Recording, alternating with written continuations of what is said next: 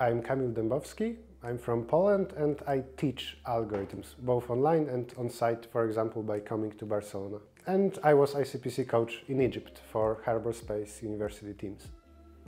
ICPC World Finals are always a huge event.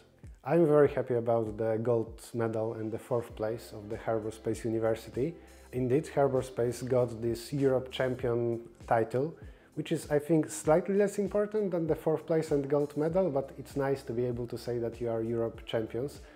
ICPC is a unique competition because you have a team of three people and only one computer.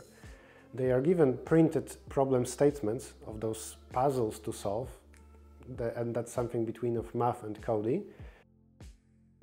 At Harbour.Space University I teach algorithms and data structures. Hard skills that you get from learning algorithms and data structures are both the knowledge of just existence of those algorithms and uh, then being able to use them uh, but also understanding what happens inside, so modifying it from time to time, which is rare, but I would say this is what distinguishes uh, a, an average from a very good programmer.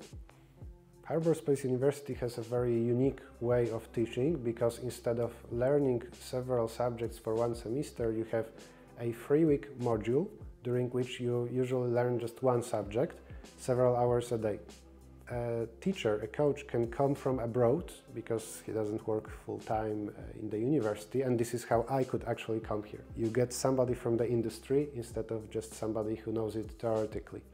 Harbour.Space University does a lot to get into competitive programming. They, for example, sponsored many educational rounds in Codeforces, which I think is one of the best resources out there for beginners. And even just the results at ICPC, getting a gold medal is something that brings the talent. This is how I would say already Harbour.Space is heavily involved into this world and shouldn't uh, get troubles in the future finding new future champions. Of course, champions, it's very hard to be a champion, but let's say at least gold medalists in ICPC.